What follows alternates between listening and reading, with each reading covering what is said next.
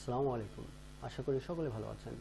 এই ভিডিওতে আমি আলোচনা করব ঢাকা আঠারো আসন নিয়ে। চলুন শুরু করা যাক। একাত্তর জাতীয় সংসদ নির্বাচন দুই হাজার আঠারো। নির্বাচনী প্রচারের শেষ সময় আঠাশে ডিসেম্বর।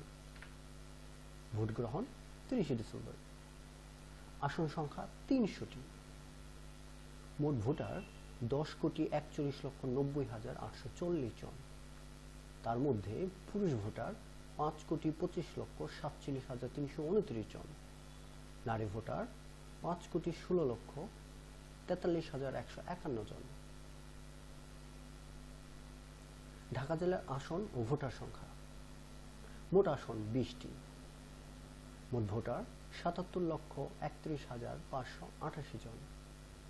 পুরুষ ভোটার চল্লিশ লক্ষ দুই হাজার চারশো তেষট্টি জন। নারী ভোটার সাঁত্রিশ লক্ষ উনত্রিশ হাজার একশো পঁচিশ জন। ঢাকা আঠারো আসনের তথ্য। ঢাকা আঠারো আসনে মোট প্রার্থী আটজন আসন নং একশো একানব্বই। এই আসনটি ঢাকা উত্তর সিটি কর্পোরেশন ওয়ার্ড নং এক, সতেরো, তেতাল্লিশ থেকে চুয়ান্ন ও ঢাকা বিমানবন্দর উপজেলা নিয়ে গঠিত।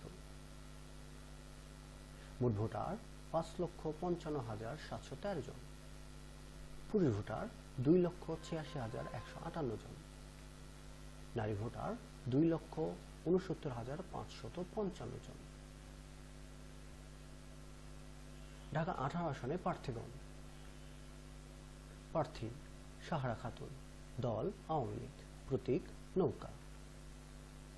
প্রার্থী শহীদ উদ্দিন মাহমুদ, দল জাতীয় সমাজতান্ত্রিক দল জেএসডি, প্রতীক ধানের শীষ। প্রার্থী মাসুম বিল্লাহ দল ন্যাশনাল পিপলস পার্টি বা এনপিপি প্রতীক, আম।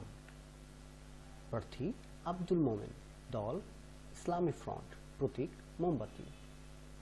প্রার্থী, রফিকুল ইসলাম, দল, প্রগতিশীল গণতান্ত্রিক দল বা পিডিপি প্রতীক, বাঘ। প্রার্থী, আতিকুর রহমান নাজিম, দল ন্যাশনালিস্ট ফ্রন্ট বা বিএনএফ প্রতীক, টেলিভিশন। প্রার্থী আনোয়ার হোসেন দল, ইসলামী আন্দোলন বাংলাদেশ, প্রতীক, হাত পাখা। প্রার্থী রেজল ইসলাম স্বপন, দল, মুসলিম লীগ বা বিএমএল প্রতীক, হাত বা পাঞ্জা। ভিডিওতে দেখার জন্য অসংখ্য ধন্যবাদ। পরবর্তী ভিডিও এবং পরবর্তী আসন সম্পর্কে জানতে আমার চ্যানেলটি সাবস্ক্রাইব করুন। ধন্যবাদ।